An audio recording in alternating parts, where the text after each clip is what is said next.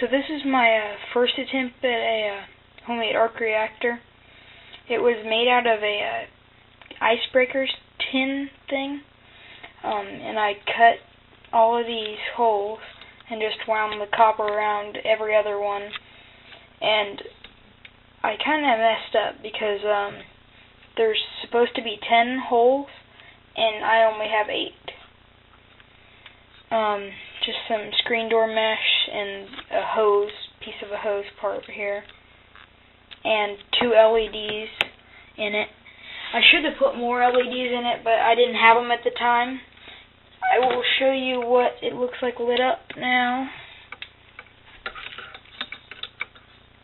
Nothing great. I mean, all you have is you see two dots.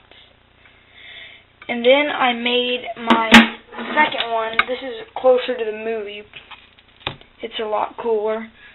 Um, it has instead of uh, copper coils, it has uh, copper wires on there, and these that's just hot glue um, painted with uh, silver paint to look like solder, and I did that there too.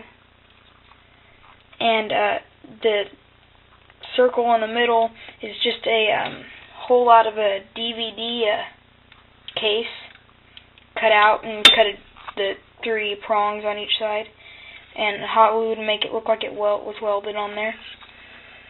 And I have um, just silver paint on here to make it kind of look like it's scratched or whatnot. And then it's painted and it has Velcro, as does the first version of this. And that hooks on to my um, chest piece that I'll show you in a minute. But I'll show you this lit up first.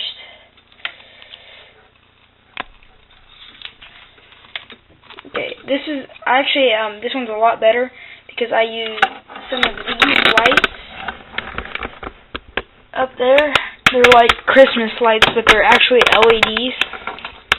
And so this is it lit up. Yeah, it's it's a lot better. And um, my video shows up. You can see the actual LEDs, but when you're really looking at it, you can't really see them. And um, between these, I have a piece of uh, like the lids on um, coffee cups or um, soft drink cups. And I have some uh, screen door screen there. And I think there's 15 LEDs in all. There's 5 here and 10 out here. Uh, so yeah, that's it. I will show you my uh, piece. So basically all my chess pieces is a belt with some Velcro on it. And um, I'll put my belt on like this.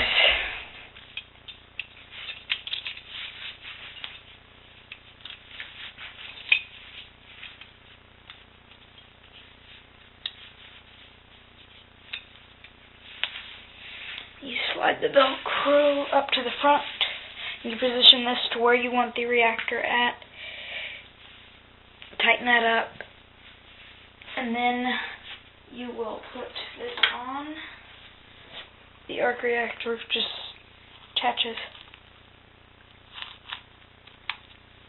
And there you have it.